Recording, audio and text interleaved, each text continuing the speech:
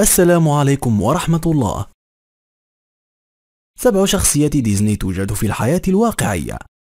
كريستوفر روبن تتحدث قصص ويني ذا بو عن دب اسمه بو وأصدقائه الأرنب والبومة والكنجر وطفلهما رو والخنزير الصغير وآيور الذين عاشوا في غابة مساحتها مئة فدان قام صبي اسمه كريستوفر روبن بالاهتمام بجميع الشخصيات في القصة ما قد لا تعرفه هو أن كريستوفر روبن هو اسم صبي حقيقي مؤلف قصة آي آي ميلن استوحى شخصية كريستوفر روبن من ابنه. أعطى آي آي ميلن ابنه دبا محشوا في عيد ميلاده الأول سماه إدوارد. أعطى الدب الإلهام لميلن في قصصه. عندما كبر الابن لم يعجبه أن يكون شخصية في قصص والده. وكلما كبر أكثر قام أصدقاؤه بإغاظته لكونه جزءا من قصة للأطفال الصغار. حورية البحر الصغيرة.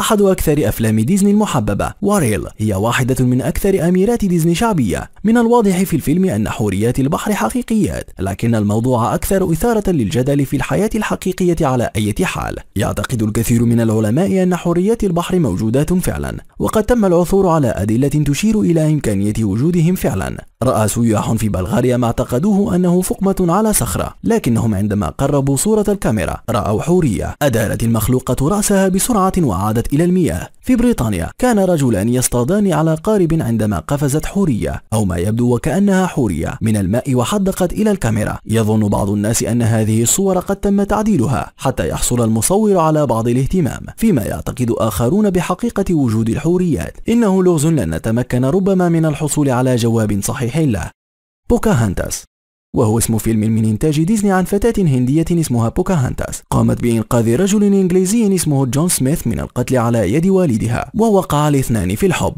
حسنا كانت هناك بوكاهانتاس حقيقية. وبعض الحوادث التي حصلت للفتاة الهندية مشابهة لتلك التي حدثت في الفيلم. في الرسوم المتحركة وفي الحياة الحقيقية كانت بوكاهانتاس امرأة هندية من فيرجينيا ولدت في ميلواكي. كما أنها أنقذت جون سميث من القتل على يد والدها. الفرق هو أنه عندما حدث ذلك كان كان عمرها 11 سنة وعمر جون سميث كان 28 سنة. لم يحظى الاثنان بعلاقة رومانسية أبدا. بعد أن تزوجت عرفت بوكاهانتاس بريبيكا رولف.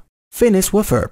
فينيس وفيرب هو أحد أكثر مسلسلات الرسوم المتحركة شعبية على قناة ديزني. يتحدث العرض عن شقيقين يتم ضبطهما في مغامرات جنونية. تحاول أختهما كانديس دوما توريط أخويها في المشاكل لكنها لا تنجح في ذلك أبدا لأن والدتها لا تصدقها. خلال السنوات القليلة الماضية ظهرت الكثير من القصص عن فينيس وفيرب أساسها أشخاص حقيقيون. وفقا للقصة هناك فتاة حقيقية تعاني من انفصام في الشخصية وبسبب مرضها غالبا ما تتخيل مغامرات جامحة يكون أخواها جزءا منها وكونها مريضة فإن والدتها لا تصدقها. هذه القصة تشبه إلى حد كبير ما يدور في المسلسل.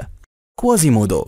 هو قارع الجرس في فيلم ديزني أحدب نوتردام. يختبئ كوازيمودو في الفيلم في الكاتدرائية بسبب منظره المختلف الذي يعتبره كثيرون قبيحا ومخيفا. أظهرت الأبحاث الحديثة وجود كوازيمودو في الحياة الحقيقية لكن ذلك لم يكن اسمه على أي حال. في القرن التاسع عشر صرح رجل يدعى هنري سيمبسون بوجود نحات حجارة عمل في كاتدرائية نوتردام وذكر بأن الرجل كان وحيدا ولديه حدبة مما أكد واقعية القصة كما تم اكتشاف هيكل عظمي حقيقي وله حدبة في باريس خلال الفترة ذاتها. تيمون وبومبا.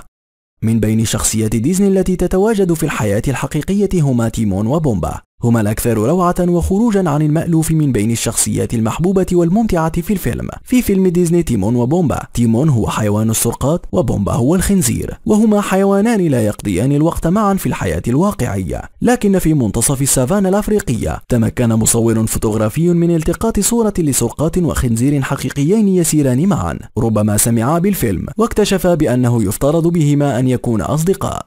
ماري بوبنز. ماري بوبنز هي مربية أطفال محبوبة تستخدم الغناء والسحر لتسلية الأطفال في عهدتها. ما قد لا تعرفونه هو أن شخصية ماري بوبنز مستوحاة من امرأة حقيقية ربما لم تكن قادرة على استخدام السحر لكنها أحبت حقيقة كونها مربية. كان اسمها بريندا إيشفورد وقد عملت مربية ل 62 سنة. خلال ذلك الوقت اعتنت بأكثر من 100 طفل كانت مجتهدة فعلا في عملها كمربية حيث ارتادت مدرسة للمربيات عندما كانت في الثامنة عشر من عمرها كما قامت بتأليف كتاب حول تجربتها وحبها لعملها كمربية. عنوان هذا الكتاب هو لا تهتم بالورقة والخيط حقق الكتاب نجاحا ساحقا وبعمر 92 سنة أدت دبلجة لشخصية ماري بوبنز الحقيقية. إذا أعجبك الفيديو لا تنسى اللايك والاشتراك بالقناة.